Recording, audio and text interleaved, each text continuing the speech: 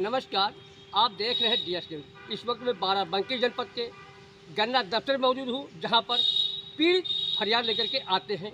आज मामला पुलिस विभाग से संबंधित है, थाना असंद्रा का है, जहाँ पर पीड़ित थाने के अधिकारियों से परेशान होकर के पुलिस अधीक्षक से न्याय की गुहार लगाई है। पीड़ित मौजूद है, मैं उससे बात करना चाहता हूँ कि आखिर समस्या क्या है। थाना छोड़ करके पुलिस मुख्यालय पुलिस अधीक्षक गुहार क्यों लगानी पड़ी? भाई साहब, आपका नाम क्या है? कल्लू। कल्लू। आप कहाँ के निवासी हो? कुंवरपुर कांडा और थाना कौन सा लगता है? आपकी समस्या क्या है? हमारी समस्या है हमारी ज़मीन हमारा कब्जा हमारी जो है दीवार खड़ी थी नींव भरी थी जी। टीना रखे थे। तीन से रखा हुआ था? तीन से रखा हुआ था। जी। उसको हटा करके और कुछ दबंग लोगों ने दबंग कुछ नहीं कौन कौन के नाम बताओ। गुड्डू हाँ। राजा राम जी। और राम कुमार अच्छा अच्छा। हीरा लाल जी। और इन दोनों लोगों ने इन सब लोगों ने जो है क्या किया है? इन लोगों ने सब हटा करके अपनी दीवार मेरी दीवार भी थोड़ी तोड़ के जी। और दीवार खड़ी कर रहे हैं।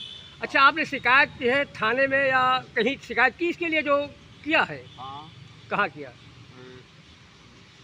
तहसील में जो है साहब से अच्छा। और थाने में भी लगाई एप्लीकेशन हाँ। पर वहाँ कोई जाता नहीं है और जाते भी हैं तो बैठ के बनवा के घंटा कौन बैठ के बनवाता है उसका नाम बताइए। पुलिस विभाग का कोई अधिकारी गया था? पुलिस विभाग का कोई अधिकारी गया था? वहाँ पर कोई हाँ। दरोगा कोई गया था?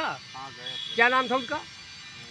मिश्रा जी गए थे। अच्छा पूरा नाम बताइए देवेंद्र क्या नाम उनका? देवेंद्र मिश्रा। देवेंद्र मिश्रा उनका पूरा नाम है। अच्छा गए थे तो क्या वो बनवाने वो खुद अपनी मौजूदगी बनवाए हैं? हाँ उसने उन्होंने रोका नहीं। रोका ही बनवा जो कि वो खुद उनकी मौजूदगी बना है। हाँ।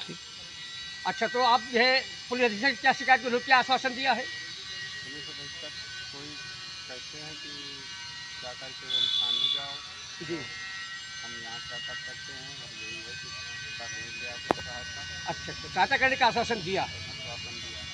ठीक है। तो इस तरीके से जहाँ मुख्यमंत्री योगी आदित्यनाथ का सख्त फरमान है कि दबंगों के खिलाफ भूमाफियाओं के खिलाफ कार्रवाई की जाए सख्त सख्त कार्रवाई की जाएगी लेकिन वहीं पर थाना संध्या की पुलिस इतनी निरंकुश है कि मुख्यमंत्री के आदेश को भी उनके भी मुख्यमंत्री का इस्तेमाल नज़र नहीं आ रहा है। पीड़ित को समय से न्याय नहीं मिलता है तो वो मिला हुआ न्याय अन्याय के बराबर होता है और डीएम पुलिस अधीक्षक ने आश्वासन दिया है कि हम फ़ोन करते हैं न्याय दिलाया जाएगा।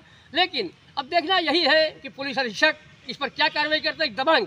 दूसरे की सहिंद की ज़मीन पर जो पहले से टीन सेट रखा हुआ था, दीवारें बनी हुई थी, उस टीन सेट को हटा करके अवैध निर्माण कर रहा है। पुलिस भी मिली हुई है, जो मौके पर निर्माण रुकवाना चाहिए था, लेकिन रुकवाने के बजाय अपनी मौजूदगी में निर्माण कार्य करा रही है। ऐसा पीड़ित का कहना है। इस तरीके से देखना यही है कि मुख्यमंत्री योगी आदित्यनाथ का इस्तेमाल कायम रहता है, ये दबंग इसी तरीके से जो है निर्माण करते रहेंगे। पुलिस के ऊपर क्या कार्रवाई करते हैं, ये देखने वाली बात है। नमस्कार, मैं देश कुमार वर्मा, कैमरा पर्सन अभिषेक कुमार के साथ डी एस न्यूज़ बाराबंकी।